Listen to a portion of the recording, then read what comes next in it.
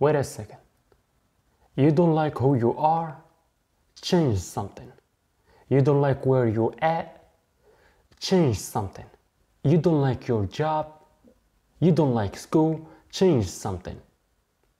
You don't like the people around you? Change them. Or run away.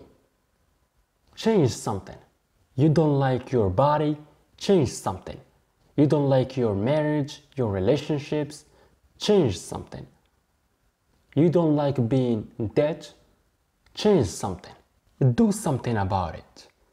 Don't just stand there. You don't like how miserable you are all the time? Change it. Do something. Stop complaining about your situation.